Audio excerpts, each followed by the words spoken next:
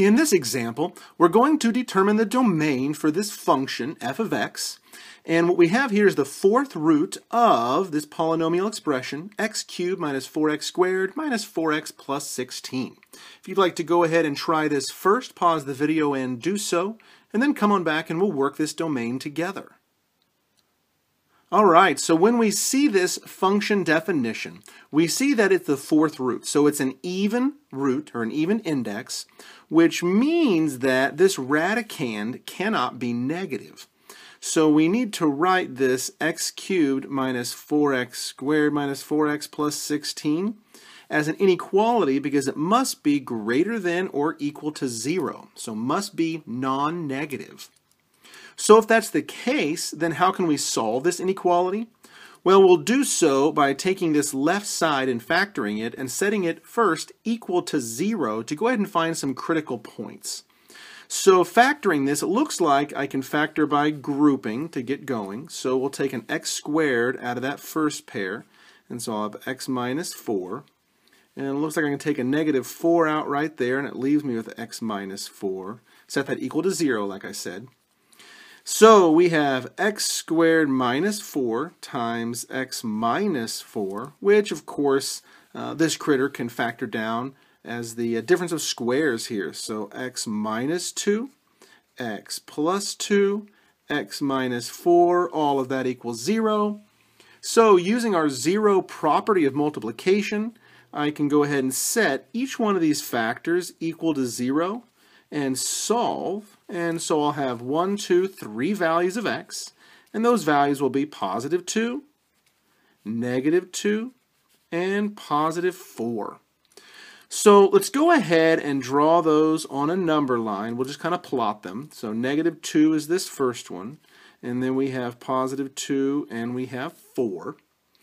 And so these values are the places where our function will end up being 0. So we'll have the fourth root of 0 equals 0, which is really nice. So in these regions here, uh, we will have either positive or negative values. So obviously the negative values are no good, so we don't want to use them, but we do want to use all the regions where the values come out to be positive. So we need some test points. So maybe let's use x equals negative 3 x equals 0, x equals positive 3, and maybe x equals 5. Okay, so we're plugging them in now to this inequality. We had x cubed and so forth and so on. We need it to be larger than or equal to 0. So we need to be positive. So let's plug 0 in first. That's a great one to use. So 0, 0, 0, 16. So 16 is indeed positive. So this region is good to go. So let's try positive 3. So 3 cubed, and we'll just jot my work down over here, so x equals 3.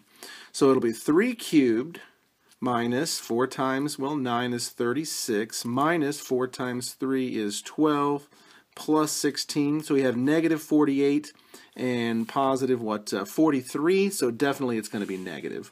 So that's a no-go right there. So let's try a positive 5. So uh, 125 minus 100 minus 20 plus 16. So we have uh, 25 minus 20 plus 16. Yeah, that'll definitely be positive, so that's good to go. And finally, we had our negative 3 over here. So make sure we can see it all. So negative 27 minus 36 plus 12 plus 16. No, those negatives definitely are larger than those positives. So that guy's negative. Okay, so we have a couple of regions that work. So we have this one here and then this one here. So when we write our domain, let's go ahead and do it in interval notation. So we know the values from negative 2 to 2 are good to go, and we can use the endpoints because, of course, when we plug in negative 2 and 2, it gives us a 0, and we can take the fourth root of 0, that's just 0. So our domain will include those endpoints. So negative 2 to positive 2 inclusive. And union, because we have another region as well, will start up at 4, and I'll use a bracket for the same reason and we're going to go up to positive infinity, and infinities always get parentheses.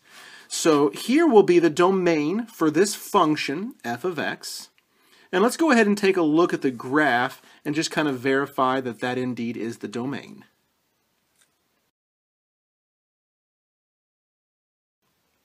So based on the graph we just saw, uh, from negative 2 to 2 is being used in the x values, and from 4 up to infinity is being used. So we can kind of verify that our answer is correct by looking at the graph.